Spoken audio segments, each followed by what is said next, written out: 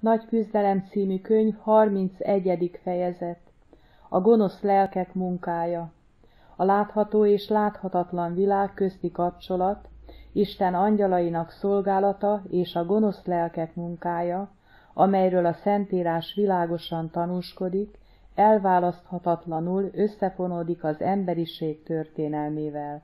Az emberek egyre kevésbé hisznek a gonosz lelkek létezésében, a szent angyalokat pedig, akik szolgálnak azokért, akik örökölni fogják az üdvösséget, zsidók egy rész, 14 vers, a halottak lelkének tartják.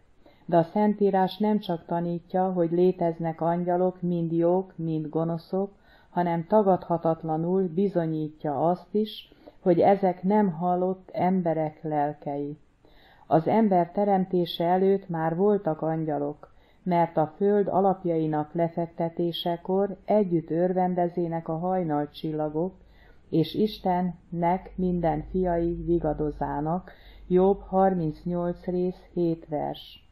Az ember bukása után, mielőtt még egy ember is meghalt volna, Isten angyalokat küldött az élet fájának őrzésére.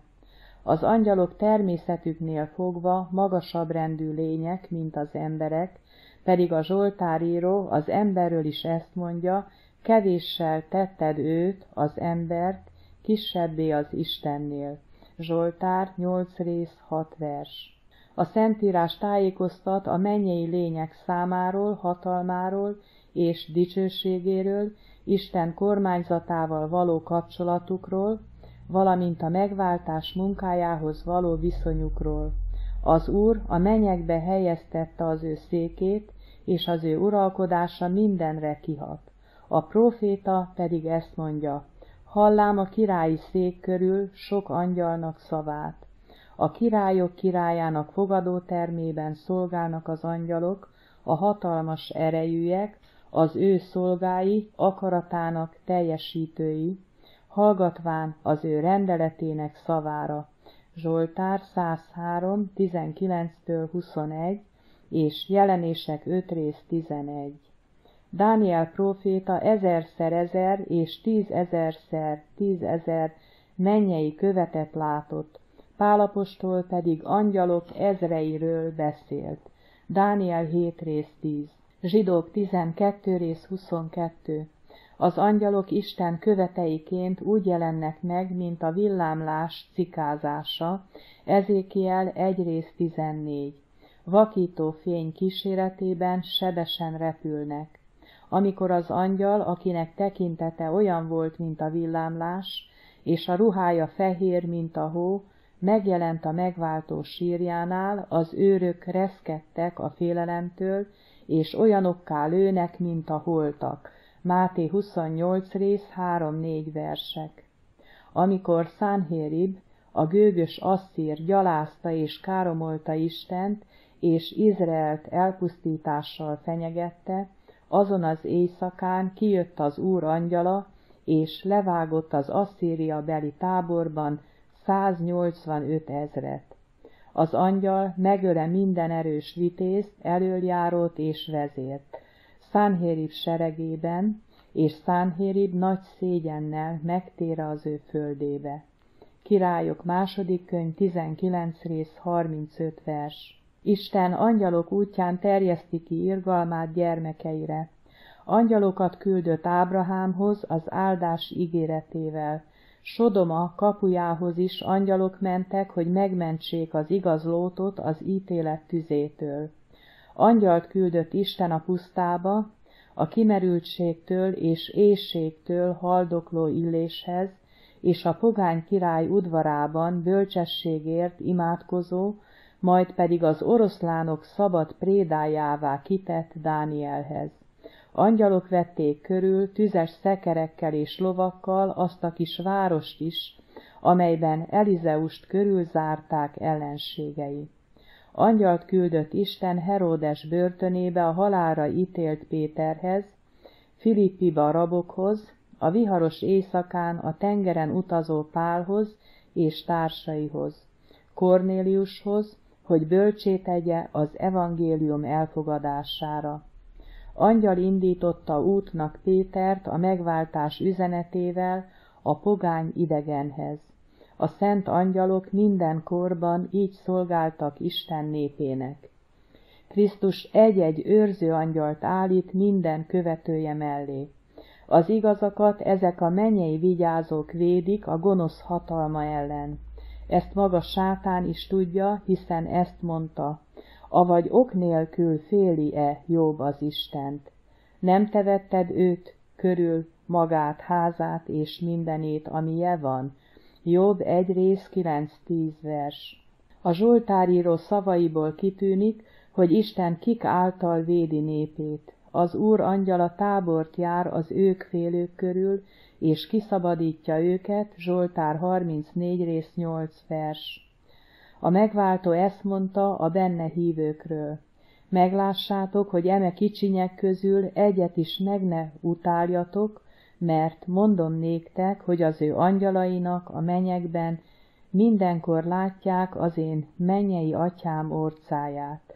Máté 18 rész 10 Az Isten gyermekeinek szolgálatába állított angyalok bármikor Isten elé járulhatnak. Isten tehát a mennyei angyalok szüntelen védelméről biztosítja a gonoszság seregeivel harcban álló népét, amely ki van téve a sötétség fejedelme megtévesztő befolyásának és soha nem lankadó rosszindulatának. Ez a védelem nem szükségtelen. Isten azért ígér kegyelmet és oltalmat gyermekeinek, mert sátán nagy hatalmú követeivel kell szembe kerülniük, akik sokan vannak, elszántak és fáradhatatlanok. Rossz indulatukról és hatalmukról veszélyes dolog nem tudni és nem törődni vele. A gonosz lelkeket, akik megteremtésükkor bűntelenek voltak, Isten pontosan olyan természettel, hatalommal és dicsőséggel ruházta fel, mint a szent lényeket, jelenlegi követeit. De bűnbe estek, majd szövetkeztek Isten meggyalázására és az emberek elpusztítására. Sátánt elázadó és a mennyből vele együtt kivetett társai a századok hosszú során támogatták az Isten tekintéje ellen vívott harcában. A Szentírás tájékoztat összeesküvőkről és kormányzatukról, különböző rendjeikről, értelmességükről, ravasságukról, és az emberek békéje és boldogsága ellen szőtt gonosz terveikről. Az ótestamentumi történelem helyenként említést tesz létezésükről és működésükről, de a gonosz lelkek a legkirívóbban Krisztus földi élete során mutatták meg hatalmukat. Krisztus eljött, hogy megvalósítsa az ember megváltására készített tervet, sátán pedig be akarta bizonyítani, hogy joga van uralkodni a világon. Sátán bálványimádásra vette rá az embereket a föld minden részén, kivéve Palesztinát. Csak Palesztina nem hódolt meg teljesen a kísértő uralma előtt. Krisztus ebbe az országba jött, hogy a menny világosságát árassza az emberekre. Itt két rivális hatalom igényelte az elsőbséget. Jézus szeretettel tárta ki karját, és mindenkit hívott, aki benne bocsánatra és békére akart találni. A sötétség seregei látták, hogy hatalmuk korlátozott, és tudták, hogy ha Krisztus missziója eredményes lesz, uralmuk csak hamar véget ér. Sátán tombolt, mint a láncra vert oroszlán, és kihívóan fitoktatta az emberek teste és lelke feletti hatalmát. Azt a tényt, hogy egyes embereket démonok szálltak meg, az új testamentum világosan kijelenti. Az így meggyötört emberek nem csak betegségekben szenvedtek, Krisztus jól tudta, hogy mivel van dolga, és felismerte a gonosz lelkek közvetlen jelenlétét és működését. Számukról, hatalmukról és gonoszságukról, valamint Krisztus hatalmáról és irgalmáról ékesen beszél a gadarai ördöngősök meggyógyításáról szóló szentírási történet.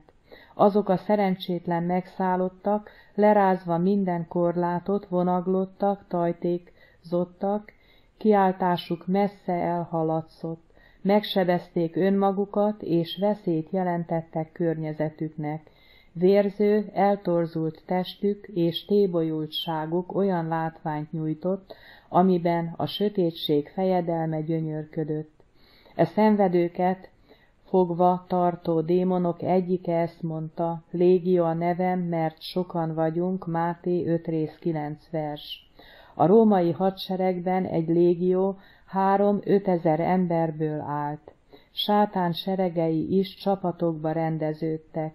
Egyetlen csapat, amelyhez ezek a démonok tartoztak, nem kevesebb, mint egy légiót számlált. Jézus parancsára a gonosz lelkek eltávoztak áldozatukból, és megszabadított, emberek nyugodtan, csendben, józanul, szeliden ültek a megváltó lábánál.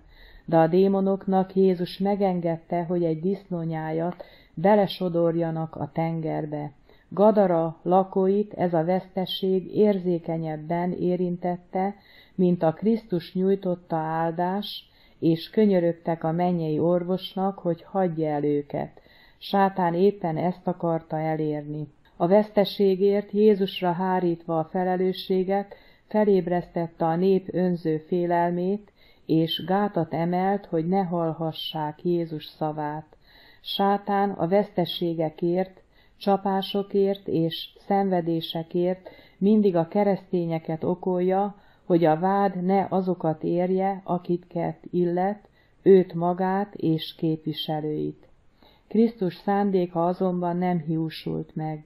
Hagyta, hogy a gonosz lelkek elpusztítsák a disznónyájat, tanulságul azoknak a zsidóknak, akik a nyerészkedés kedvéért tenyésztették e tisztátalan állatokat. Ha Krisztus nem fékezte volna meg a démonokat, akkor nem csak a disznókat folytották volna a tengerbe, hanem őrzőiket és tulajdonosaikat is. Az őrzők és a tulajdonosok egyedül Krisztus hatalmának és irgalmának köszönhették, hogy életben maradtak. A történteket Isten azért engedte meg, hogy a tanítványok tanúi legyenek sátán kegyetlen hatalmának, amit az emberek és az állatok felett gyakorol.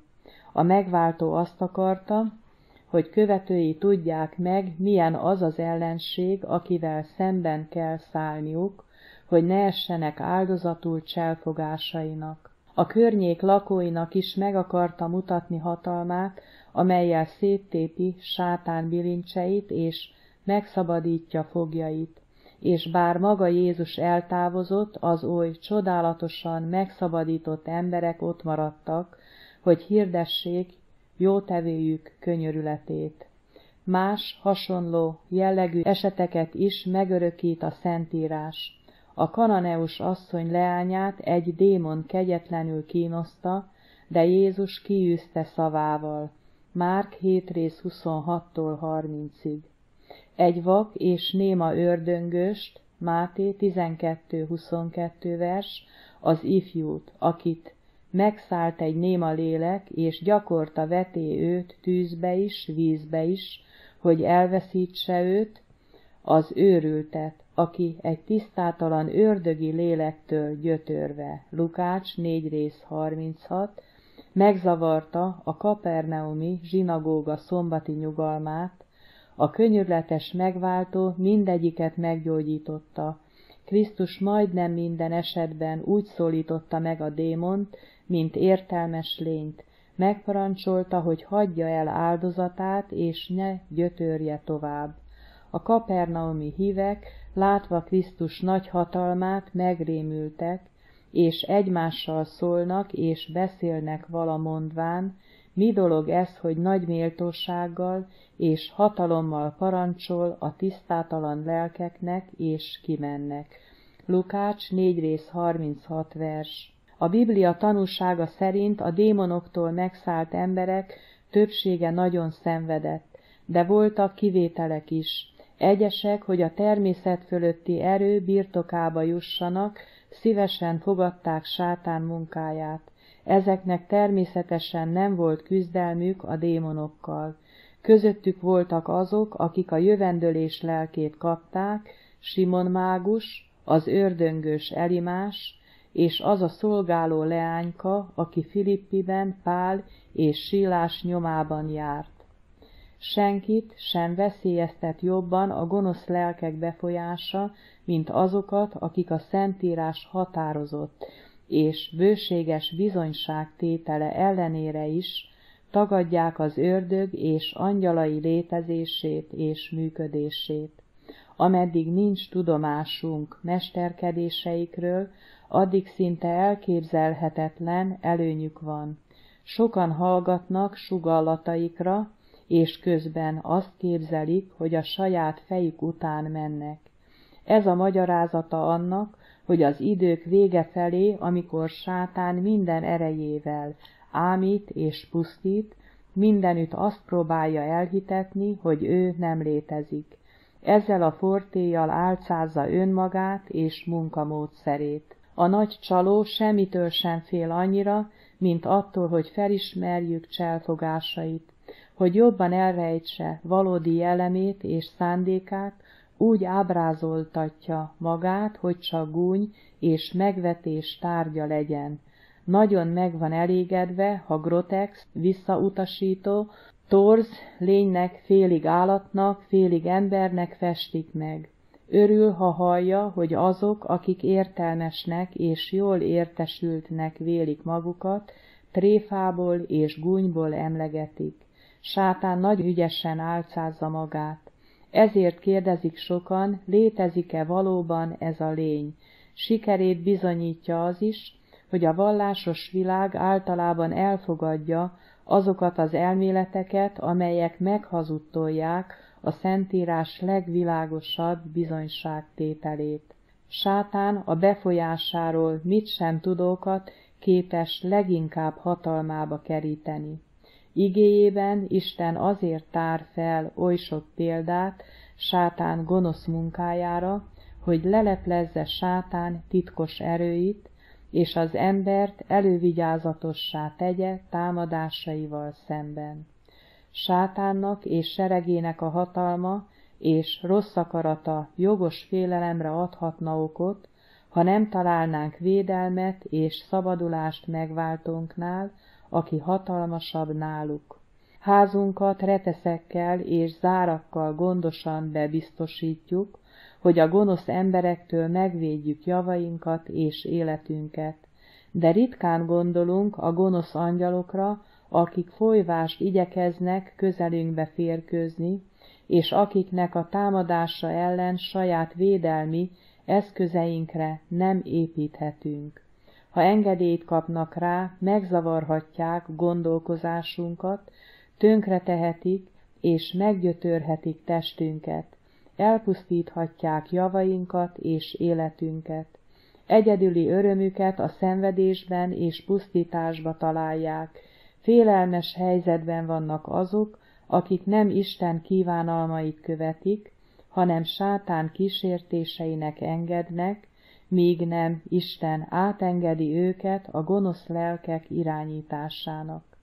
De akik Krisztust követik, az ő oltalma alatt biztonságban vannak. Isten a mennyből nagy erejű angyalokat küld védelmükre. A gonosz nem törheti át azt az őrséget, amelyet Isten állít népe köré.